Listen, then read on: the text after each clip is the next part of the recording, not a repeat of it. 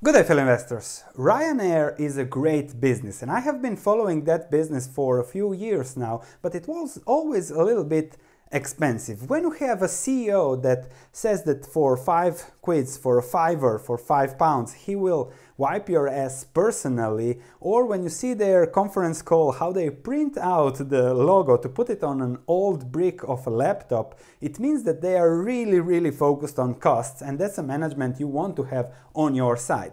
And now that the stock has fallen 50% since its highs a year ago, just a year ago, I said, okay, let's do a dig deep into Ryanair, put it on my watch list, put it on my covered stock list, and then see whether it is time to buy now, whether it is time to wait still a little bit, and see where are we in evaluation of Ryanair. So in this video, I'll value Ryanair, I'll show the risks, I'll show the rewards, the business model, compare it to the competition, and why I think Ryanair is now a stock to watch. Let's start. Not buy yet, but the opportunities might come over the next year or two. Let's start. So as I said, Ryanair has been an amazing business, 10x over the last 20 years as the management did really, really good in growing the business. But look at the volatility.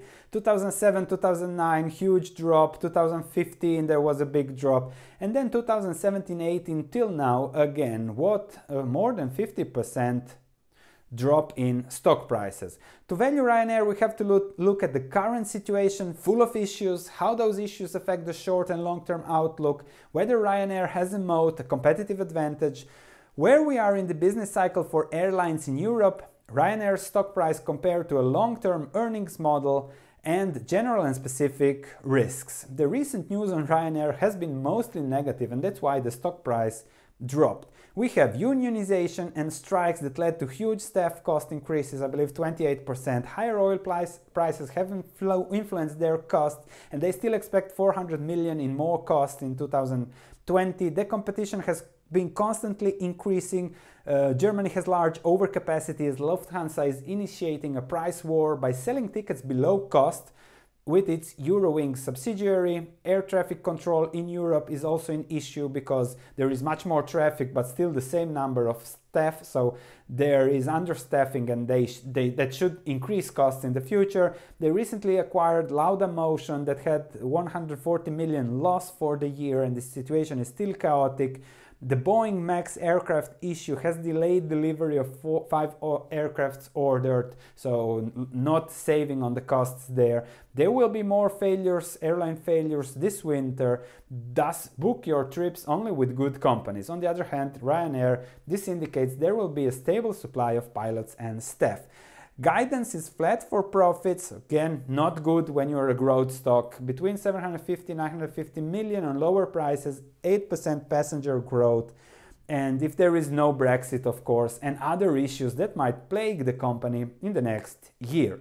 So all those issues plague the stock, that's the reason why it went down, but the stock really reflects on news. A year and a half ago the news were positive and the stock exploded, overvalued for me, but I kept an eye on it. And now I'm looking, okay, let's do a deep, deep dive and see. Ryanair, due to all the issues, had to lower even their fares from uh, 39 euros to 47 euros, so 6% decline in fares, which affects again revenue. But now we have to see it, how does that affect the short and long-term outlook.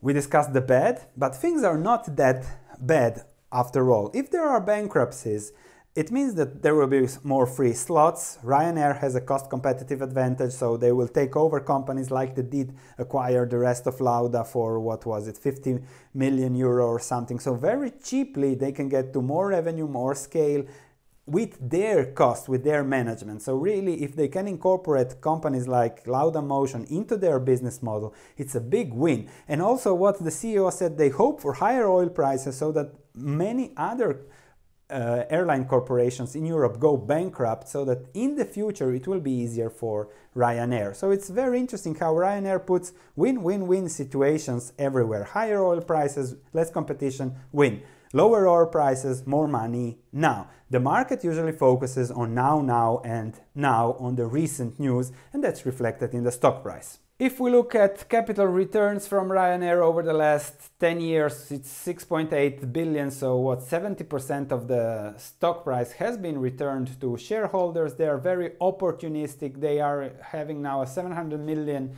buyback plan to take advantage of the low stock price. So, they you could say that Pabrai would call this an uber cannibal uh, stock. And the management knows the price environment is weak, will continue to be weak, and they say shareholders should expect more pain over the next year, two years. And here is what I say if there is more pain coming, then the stock price might further suffer. So I'm just holding a little bit before buying and looking at the situation and then I'll see whether to buy in a year, in two years, in six months, you never know. But usually the market is short term, so if there is more pain, it's probably, it's likely that the stock price will suffer more, which is indication that there is still not a margin of safety. If we look at Ryanair's competitive advantage, it is really incredible. Wizz Air will not be an independent airline for long. There will be consolidation in the market, so we have to compare it to EasyJet, and we see a huge competitive cost advantage.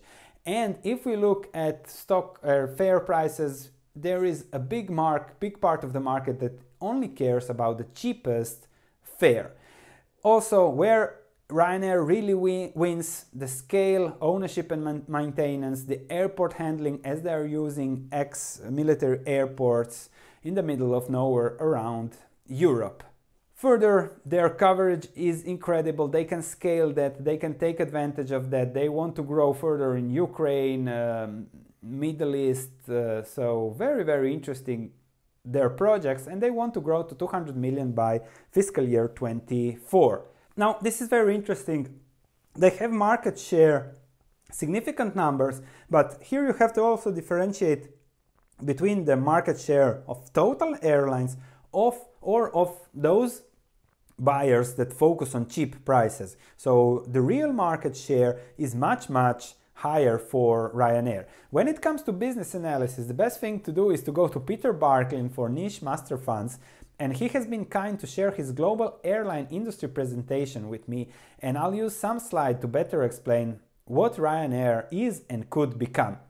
Here we have the demand curve. In real life there are a few customers who are willing to pay a lot more than most, which means that Ryanair really targets the largest part of customers that are really fare sensitive.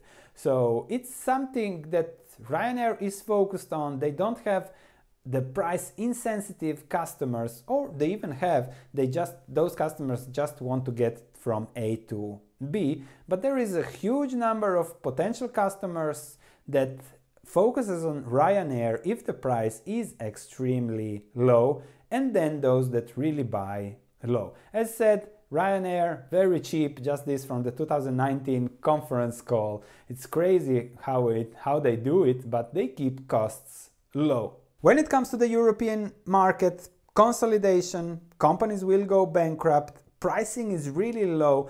Uh, European aircraft fare, fares are 25% off the current fares in the United States. So at some point, this is artificially low. At some point, those fares will have to go up. Companies will go bankrupt only the strongest, only the lowest cost will survive, and Ryanair will probably be one of the five airline carriers for that will survive over the next 10 years, like it was the case in the United States when Buffett started buying airlines a few years ago when those were cheap, because the consolidation happened, and perhaps it's time for airlines now to deliver good returns, like Ryanair has been doing, and like in the US has been the case lately. If we look at the stock price, the market cap is currently 11 billion euros. Profits over the past five years have been good and around 1 billion on average. Management has guided for profits between 700 and 900 million. Let's take 700 million over the next two years. After two years, if there is no recession, we can assume profits to go to 1 billion as the market consolidates, or we could see profits to go to zero if we have Brexit recession. However, what is a given is that Ryanair will reach 20 million passengers per year in 2024. That, that is growth of 25%. If fares in Europe increase by then, I would assume a 50% increase in revenues, add an acquisition, and we could see even 12 billion in revenues, perhaps 15 billion depending on what is acquired.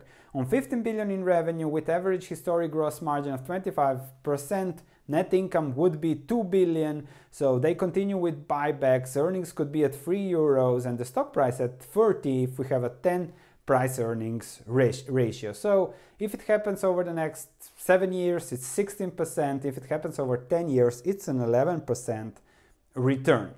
However, if we look at the stock price, if profits suffer for another year or two, they go to 400 million, investors will attach a price earnings ratio of 10 15 and the market cap will go down to 7 billion so there is still a lot of room for the stock to go down. If we look at the returns, we are now at 10 years conservative return of 11.6%. I want a 15-20% return from my investment, so I'll wait for stock the stock prices to fall another 30 percent. Perhaps it will, perhaps it won't. If not, I'll buy something else. There are always risks. A plane crash. If a plane crashes, that's a big risk for a company, especially a company like Ryanair. And that's why that's perhaps why Buffett diversified across four US airlines. Nevertheless, there is Brexit, there is a European recession, higher taxes. The European Commission might say, okay, Ryanair, you are too competitive. You should allow EasyJet to put 10 passengers in your plane or something like that. Sounds crazy, but it can happen in Europe. So there are also a lot of risks. So I would even go for 20% returns on investment from such a company. Really buy when things are bad. Things are not yet bad enough, but might come. I'm going to put this on my watch list and uh, follow the conference calls, see what's going on in the environment. Just an example of what you hear on the conference call regarding Boeing and Airbus, the CEO of Ryanair said how new aircraft prices pricing is high and they are waiting for a downturn, which means that for Boeing and Airbus investors that prices will be lower somewhere in the future and uh, this also means lower profits, lower margins for Boeing and Airbus and lower stock prices. So that's something that you learn by reading constantly about stocks. If you don't have to time to do that, but you would like to invest in good businesses at fair prices, you can simply follow my stock market research platform, full-time research from me, and I put everything that I do there. Who wants to read the research can read all the reports. Who just wants the transaction gets an email 20 minutes after the transaction is made so you can just read why I did some transaction. It saves you a lot of time. It costs you less than $1 per day and you have me practically working for you for one dollar for less than one dollar a day doing research analyzing stocks following conferences and doing everything that has to be done to make sound low risk hopefully high return investments check it out if you fancy to save time and get more information about investments like this research on Ryanair. Thank you for watching, looking forward to your comments and I'll see you in the next video.